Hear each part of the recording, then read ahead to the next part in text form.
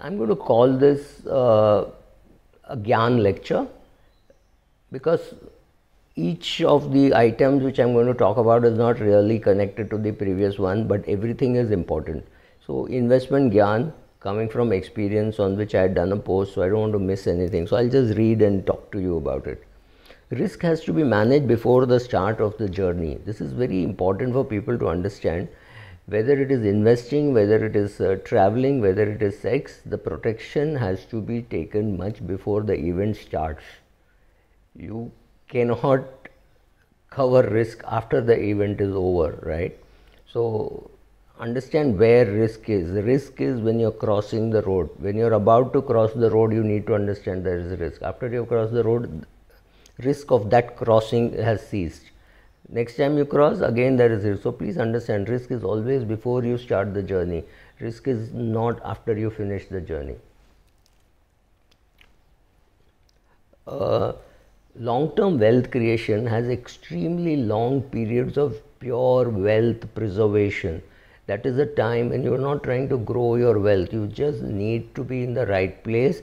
You have to be in the right direction. Maybe you're going at a very slow pace. Don't change direction. Don't say i will interrupt the journey. The longest part is in the waiting right? Right now during covid times you may be watching it sometime later but right now during covid times the only important thing in your portfolio is liquidity. Do you have enough cash to meet the problems of uh, not being able to go to work and earn money right? Each industry will behave very differently but if you're a barber you're not going to have any income for the next 2 3 months at least. If you're a priest you may not have much income. If you have if you're a cook you may not have much income because people are not going to allow strangers into the house very easily. So do you have enough cash? So sometimes in your portfolio you're looking for growth sometimes you're looking for liquidity. So right now the main focus of every portfolio has to be liquidity. Do you have enough liquidity to pay your SIP? Do you have enough uh, liquidity to pay the EMI? Now the thing you're seeking from your portfolio is liquidity. Don't seek growth. Don't worry. 2021 is a complete washout in terms of income. You have got to look at the two years together. You have to now look at 2022 March results till then just write it off. Imagine just have liquidity. Just know that you have to be sensible not to expect anything. That's all you have to do now.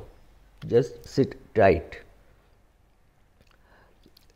Risk control is about controlling greed in the market which is rising and controlling fear in a market which is falling. Right now we do not know whether the market is rising or falling. March was uh, bad, markets fell, but in April it recovered.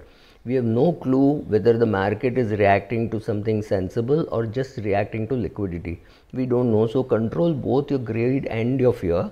Don't be fearful and sell off everything saying this uh, virus is going to finish us. Or don't get greedy and say, wow, the market has fallen so much, let me buy. We don't know. Just wait for the signals. We have no clue what is going to change in our lives. If I am going to travel only once a week, maybe I'll get rid of my car and my driver and use an Ola or an Uber. I may be spending much less on clothes, but I may be buying good quality uh, video equipment and photography equipment, cameras at home so that I can do my uh, video conferences much better than using a handheld phone or my laptop camera, which is not very good once we know those patterns, we will know how the things are going to change.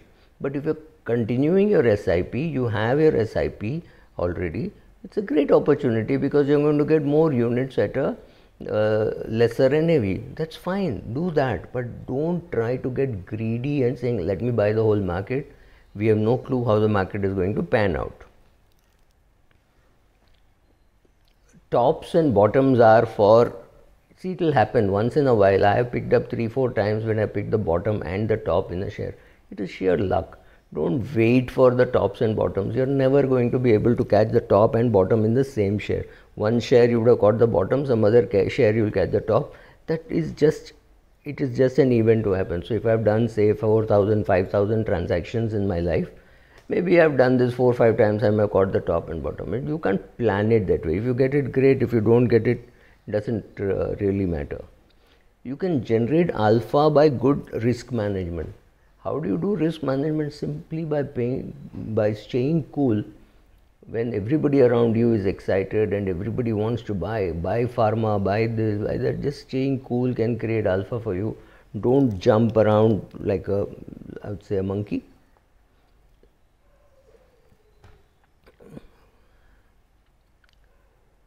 during this period of when you're let's assume for a minute that you are unable to do your SIPs because you have a cash flow problem.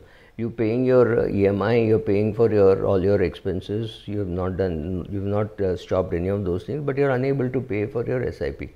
That is a bad scenario. But the worst thing can be withdrawing from your uh, equity accounts for your expenses.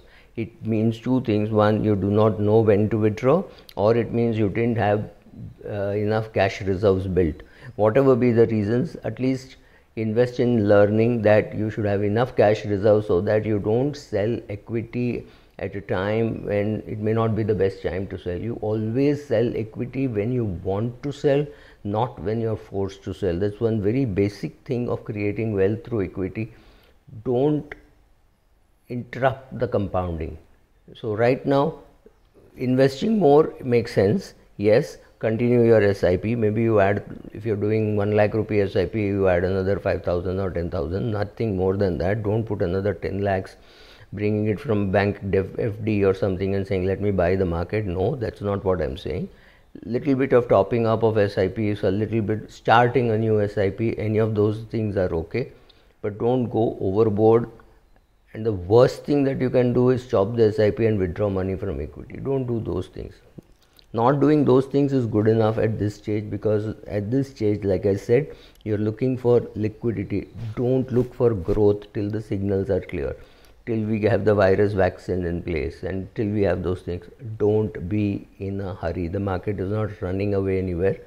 And we all if everybody goes and buys pharma we know pharma will go up. That's not enough reason for us to buy. Wait cool and then you can take a decision on when to buy skim the market but don't think you will get the tops and the bottom. But yeah you will always get opportunities. You will get shares which have been battered down. A share which has been pulled out of the index because it's not doing well. Maybe it's a great opportunity to be buying right? Parag parikh talks about those, those uh, shares coming out of a out of the index and going into the index how it makes sense to buy the ones which are coming out rather the ones which are going in right? So he does that. It's a completely contrarian approach but he does talk about that in his uh, book where he talks about indexing and he's not a big fan of indexing. So just as an example